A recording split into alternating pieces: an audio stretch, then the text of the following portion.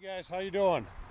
Um, so we're gonna do a quick inspection on the bees. I'm gonna go through and take a look.